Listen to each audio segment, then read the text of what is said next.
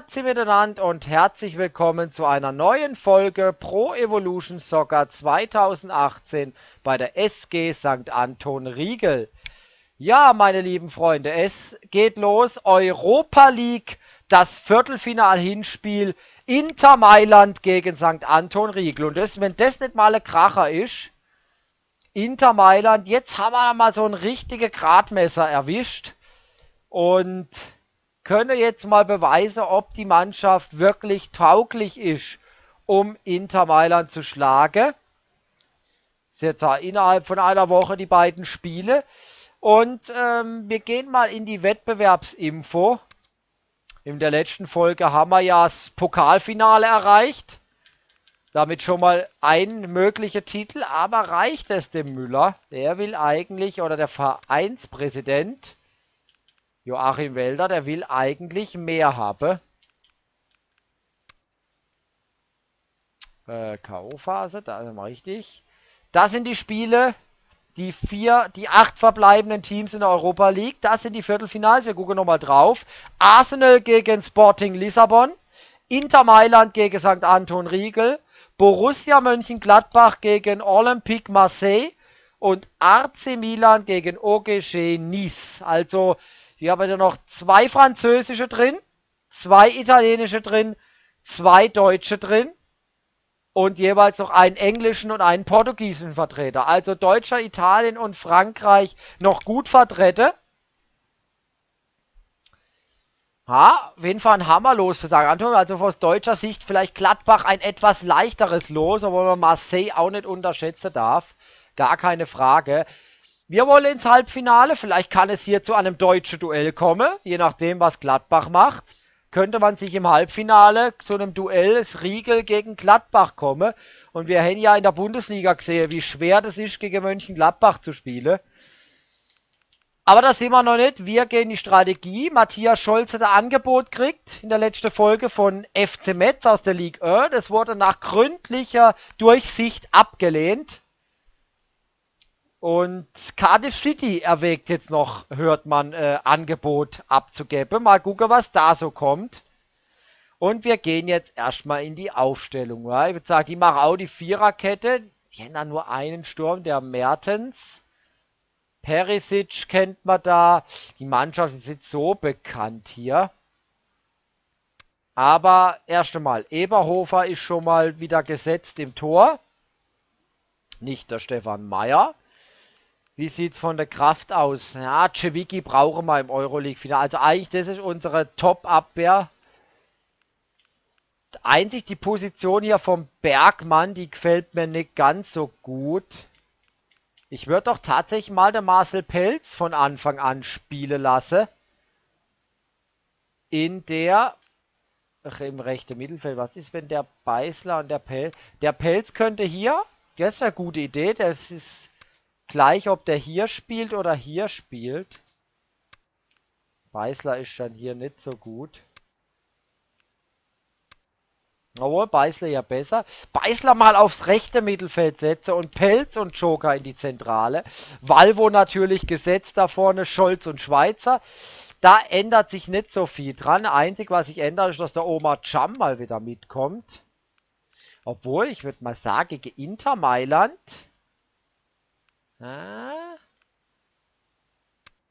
Lassen wir mal den Matthias Scholz. Andreas Müller lässt Matthias Scholz auf der Bank und will den als Joker bringen.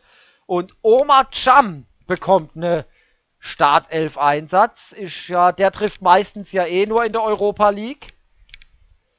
Schweizer, ja, das sieht, das sieht ganz gut aus. Ähm, wen nehmen wir denn da mit? Daniel Schmutz, Justin Sievers. Eigentlich, eigentlich gut aufgestellt. Fuchsi für rechts, Eichinger für frische Wind. Die können wir auch mitnehmen. Können wir es eigentlich auch so lassen, glaube ich. Gehen wir mal hier. Kapitän Joker, weiter Freistoß. Kurzer Freistoß ist jetzt was, was dann mal der Pelz machen wird. Freistoß mal 2, linker Eckball, rechter Eckball, Strafstoß. Macht in dem Fall dann mal der Schweizer. Und die Angriffsunterstützung Valvorik. Beißler und der Schweizer. Ja, so schaut die Ausstellung dann aus. Im Europa League Wettbewerb natürlich Stammtorhüter Jake Eberhofer. Und dann die legendäre Vierer-Abwehrkette von Andreas Müller. Armani auf links, Cevicki auf rechts und Patrick Lang und David Lötsch in der Mitte.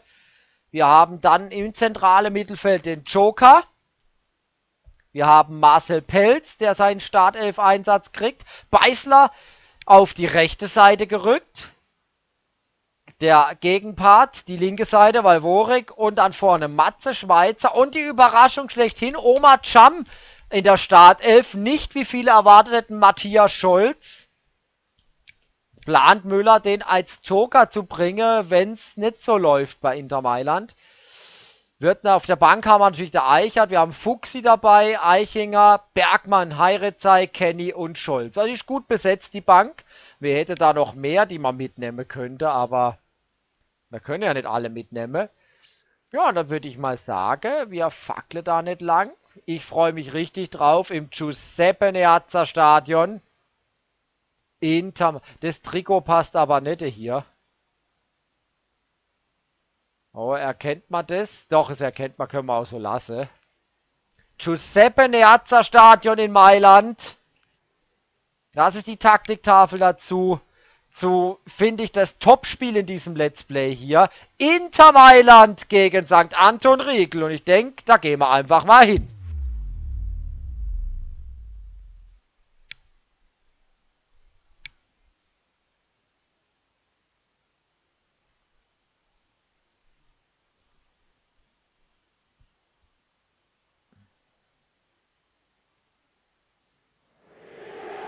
Giuseppe Neazza Stadion begrüßt Sie, meine lieben Damen und Herren. Inter Mailand gegen St. Anton Riegel. Ein Kracherspiel in der Vereinsgeschichte von St. Anton Riegel. Ein Top-Duell. Inter Mailand in den 80er, 90er starke UEFA Cup Mannschaft gewesen. Road to Lyon heißt das Motto. Schafft es St. Anton bis dorthin. Inter Mailand der erste Gradmesser. Und wie immer hören wir mal wieder in die Hymne rein. Natürlich ausverkauft das Giuseppe Neazza Stadion. Man hört, es sind insgesamt 6000 Fans aus Riegel angereist nach Mailand, haben den Weg über die Schweiz, Chiasso, Comasee Richtung Milano angetreten. Um die St. Anton zu unterstützen. Das Rückspiel dann in der übernächsten Folge in Riegel. Also da freuen wir uns schon drauf. Und Andreas Müller hat so ein bisschen überrascht, wenn wir zuerst einmal von Vecchi, dem Trainer hier sehen, die Aufstellung von Inter Mailand. Das der erste Handanovic ist hier bekannt und Perisic und hier Cham, Schweizer Joker und Cevicki gelb vorbelastet.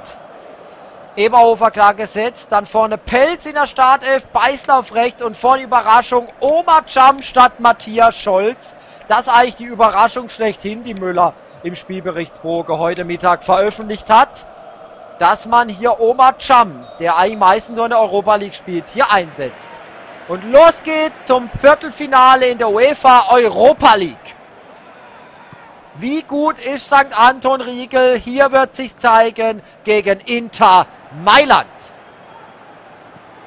Natürlich eine starke technische Mannschaft. Lothar Matthäus sagt, eine technisch starke Mannschaft, ja. Der Lothar Matthäus sagt technisch, aber das Technische ist jetzt nicht gut hier. Eberhofer. Erste Chance für Inter Mailand. Der, ja, schon der Favorit in diesem Viertelfinale. Man spricht davon, dass Inter Mailand auf dem Papier leichter Favorit ist gegen St. Anton, aber nur leicht.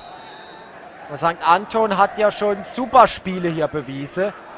Viele Spieler, die auch schon mal Weltmeister waren jetzt bei der WM. Und jetzt Marcel Pelz. Sprintet da allein durch. Marcel Pelz. Marcel Pelz, Astreiner Konter!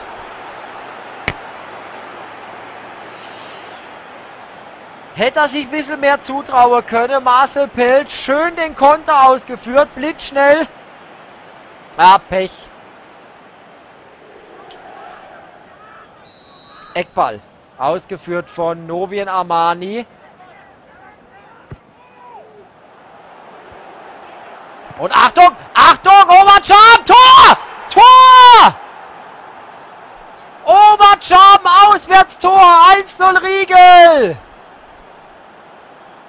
Dieser Omar Cham, der wird ja meistens nur in der Europa League eingesetzt und der hat auch schon oft getroffen. In der Gruppenphase, einmal im 16. Finale, trifft er mal wieder Omar Cham.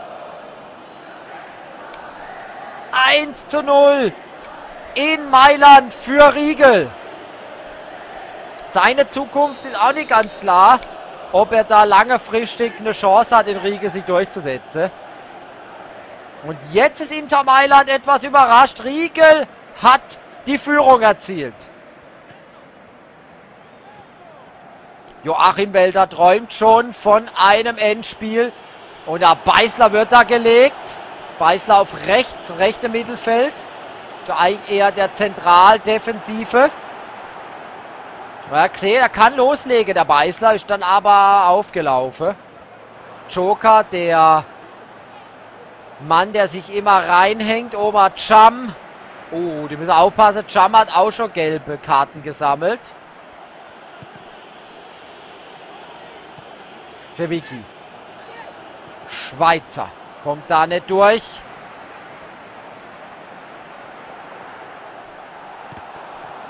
Boah, da geht's hart zu Werke. Faire Zweikämpfe bisher.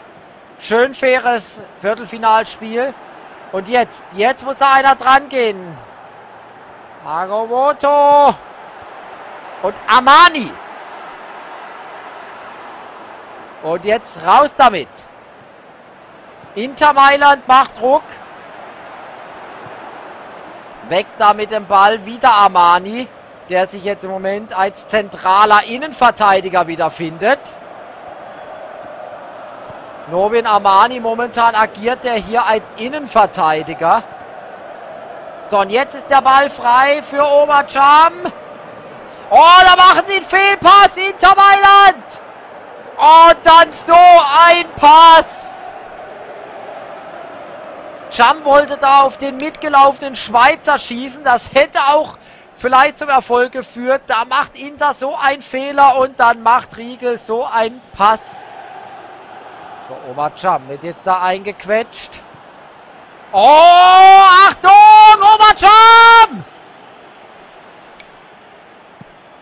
Grobe Patzer da hinten in der Abwehr von Inter. Lang. Lötschi jetzt. Sind jetzt alle ein bisschen aufgerückt. Abseits von Omar Cham, knapp. Ist da aus dem Abseits wieder raus, aber ist zu spät. Dann hat der Schweizer sich ins Abseits gestellt. 1-0 ist knapp für Riegel.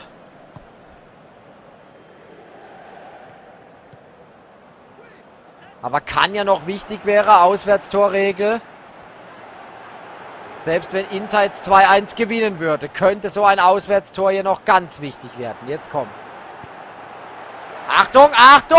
Und dann gleicht Inter aus. 1-1. Eder. Der Brasilianer Eder Martins mit dem 1-1. Ja, hat es sich abgezeichnet, weil Riegel da jetzt auch unsicher wirkte hinten in der Abwehr. Ich habe es gerade gesagt, das Auswärtstor kann noch wichtig wäre, sollte auch Inter hier gewinnen, 2-1. Kann ja mit einem 1-0-Sieg im Rückspiel dann immer noch weiterkommen. Ja, schön mit der Hacke. Der war schwer einzusehen für Jake Eberhofer. Ich glaube, wir kriegen es hier nochmal. Ah, schöner Trick, muss man schon sagen. Inter Mailand wieder im Spiel. Habe sich das jetzt lang angeguckt, wie St. Anton das hier macht und es steht 1-1. Und sie werden noch weit über die Schmerzgrenze gehen müssen, die Riegler. Zunächst ist mal Halbzeit in Mailand. Es steht 1 zu 1 nach 45 Minuten. Es ist das erwartet enge Europa League Spiel. Das wird auch Kraft kosten. Weil jetzt ist der Wettbewerb so richtig eröffnet. Andreas Müller berät sich jetzt, was kann man machen. Und er sagt, nein, das war schon okay, wir lassen die auch weiter so spielen. Steht jetzt 1-1, zweite Hälfte.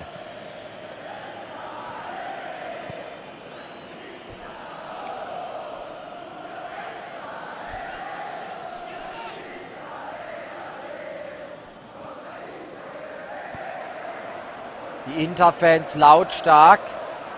Forza Libre hören wir da, nicht Cuba Libre, das ist ja ein Getränk. So, Valvorik, der Österreicher, immer gut für gute Momente und da kommt jetzt mal so ein Valvorik-Moment. Wer läuft damit? Es ist Matze Schweizer. Matthias Scholz macht sich da mittlerweile bereit. Also es wird wohl bald eine Einwechslung von Matthias Scholz kommen. Frage ist, für wen?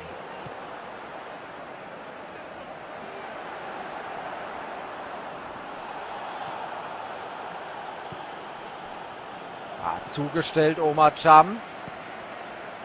Ah, sieht wohl aus, als könnte Oma Cham derjenige sein, trotz Tor, der hier gehen muss. Joker, der setzt alles rein. Jetzt die Außen. Pelz. Und jetzt über Armani. Der kann es ja genauso gut. Läuft raus. Und Andreas Müller sieht Omar Cham, hat Probleme. Und es wird jetzt Matthias Scholz kommen, schon recht früh im Spiel, dass Matthias Scholz eingewechselt wird für Omar Cham. Hat zwar ein Tor gemacht, aber Obercham. Jetzt kommt Matthias Scholz. Ein Tor gemacht, Obercham. Gar nicht schlecht gespielt. Aber man merkt, dass er lange nicht mehr gespielt hat. Das Tempo nicht ganz so mitgehen kann. Und jetzt kommt Mr. Gnadenlos Matthias Scholz. Wir haben gesehen, der Schweizer ist auch sehr platt. Das kostet natürlich Kraft hier, das Spiel, schon ganz klar.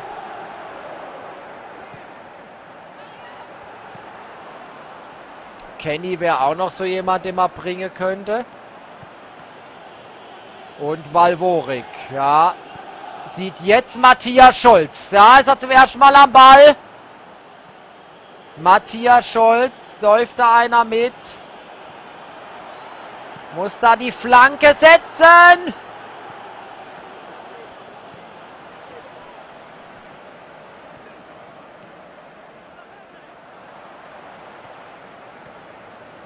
Ah, jetzt der Konter von Inter Mailand. Und Müller bereitet einen Doppelwechsel vor. Beißler Blatt. Für Beißler kommt rein Rocky Bergmann. Und für Valvorik kommt rein Adnan Heirizai. Also Doppelwechsel, Beißler und Valvori gehen raus, Bergmann und Heirizai werden gleich ins Spiel kommen. Es kostet sehr viel Kraft, das Spiel. Jetzt Beißler, vielleicht nochmal mit einer Aktion hier. Michael Beißler, müssen jetzt auch mal einige mitlaufen hier. Achtung, Achtung, Achtung! Nein! Es wäre der Schweizer gewesen. Beißler noch immer letzte Kraftkörner getankt. Zum 2-1. Es war dann seine letzte Aktion in diesem Spiel. Er wird jetzt ausgewechselt. Genauso wie Valvorik. Es kommen Rocky Bergmann und Adnan Heiretzai jetzt ins Spiel. Und neue Impulse, ja. Geht da noch was?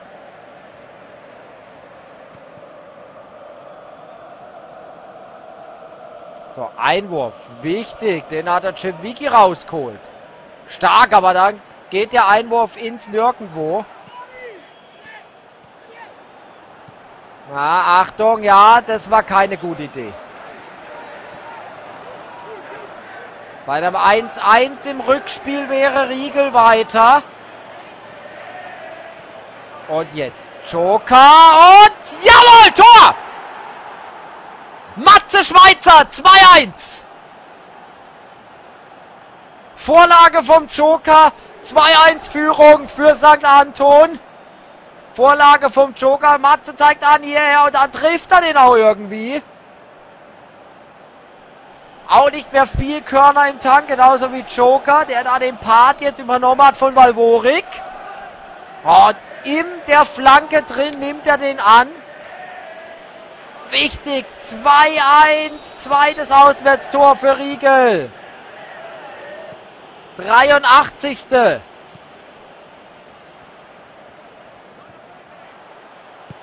Heirezei. Scholz. Schweizer Abseits. Ja, das war nicht gut vom Schuss. Hätte er nicht machen sollen. Da der Schweizer nämlich ans Abseits gelaufen. Da haben die Inter-Spieler drauf spekuliert, dass er den Pass so spielt. Und hat sie genauso gespielt. Gonbocia geht rein. Viele unbekannte Spieler bei Inter. Aber der Sieg von Riegel ist natürlich krass. Boah. Das war jetzt auch die Kategorie weg mit dem Ball. Auch jetzt letzter Wechsel bei Inter. Müsste jetzt auch schon dreimal gewechselt haben.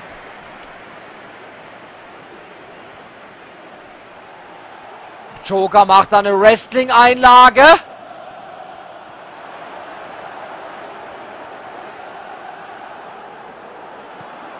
Da sieht sich keiner gezwungen, mal ranzugehen hier. So, jetzt letzter Konter vielleicht. Oh, nein, schade. 2-1-Sieg in Mailand für St. Anton Riegel. Aber wie gesagt, dünnes Polster im Rückspiel kann mit einem 2 zu 0 da alles schon wieder vorbei sein für Inter. Bei einem 1-0-Sieg von Inter reichen die zwei Auswärtstore für St. Anton. Also das wird eine enge Kiste in Riegel. Der Traum lebt vom ersten Halbfinale einer deutschen Mannschaft in der Europa League seit dem HSV 2010. Die, der Traum lebt. Hier sehen wir die erste Parade von Eberhofer. Kandreva. Und dann der erste Konter Marcel Pelz, der dann den leider zu schwach schießt. Gutes Spiel gemacht, hat Müller gesagt. Marcel Pelz, top, der Mann. Oma Jump an der 11. Minute. Irgendwie stochert er dann den Ball zum 1 zu 0 rein. Ein Mist, Mister Europa League, weil er meistens so eine Europa League spielen darf. Oma Cham. Ob er auch noch weitere Jahre in St. Anton spielt, ist unklar.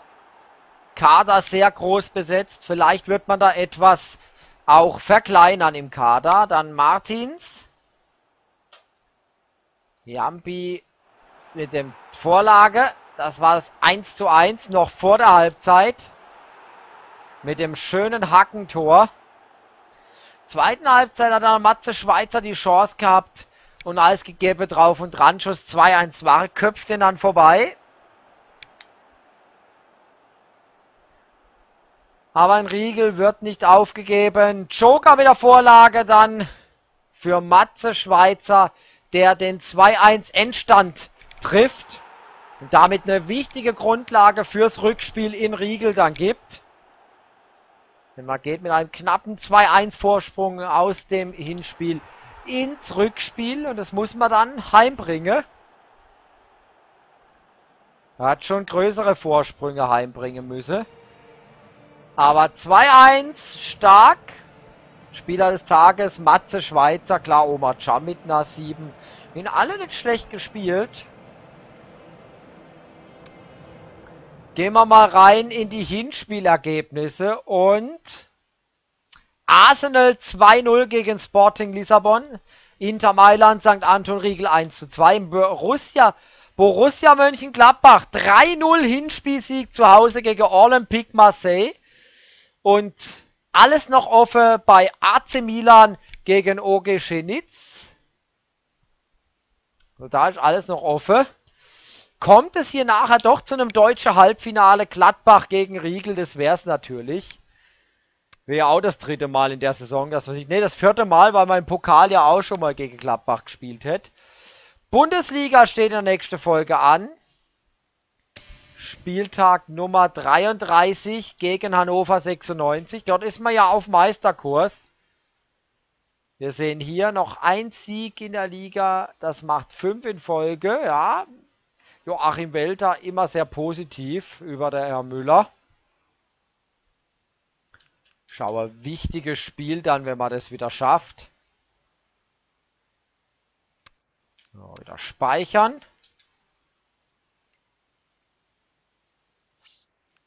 Oh, wir haben hier den Teamstatus mit dem Sieg in Folge. Kaderzufriedenheit, ja, ist nicht ganz so klar. Klar, viele Spieler spielen nicht. Teamstärke 83, Teamgeist 97, ja. Ich spiele 100% Kapitän, meiste Einsätze der Valvorik. Muss man schon sagen. Ja, und dann geht's in die Bundesliga. Da ist schon Scholz auf dem Weg zur Torjäger Kanone. Hat er schon 21 Mal getroffen. Heimspiel in Riegel gegen Hannover 96 wieder ein weiterer Schritt Richtung Meisterschaft. Auch jetzt dann nur noch fünf Spiele in der Bundesliga. Die Saison neigt sich dem Ende zu. Dann Europa League und dann wieder ein Heimspiel gegen den VfL Wolfsburg. Also jetzt Niedersachsen Spiele in Niedersachsen Wochen in der Bundesliga. Dazwischen Dolce Vita zu Gast in Riegel. Also drei Heimspiele in Folge jetzt mit dem Europa League Rückspiel. Das macht Spaß und macht Lust auf mehr. Und ja, ich hoffe, ihr hattet auch Spaß und habt Lust auf mehr. Dann sehen wir uns nämlich in der nächsten Folge dann mit dem ersten von drei Heimspiele, die Niedersachsenwochen in der Bundesliga beginnen. Mit Hannover 96, die dann zu uns kommen. Und ja, das wird dann auch spannend. Wird der Andreas Müller bei dem Tabellevorsprung schon einmal Spieler schone für die Europa League, weil Bundesliga läuft im Moment gerade saugut. Wir werden sehen. Ich sage schon mal vielen Dank fürs Zuschauen. Hoffe, ihr habt Spaß gehabt an dem Spiel und dann sage ich schon mal bis zum nächsten Mal, wenn es dann heißt St. Anton Riegel gegen Hannover 96. Ich sage schon mal vielen Dank, auf Wiederlorge und bis zum nächsten Mal, euer Beißler.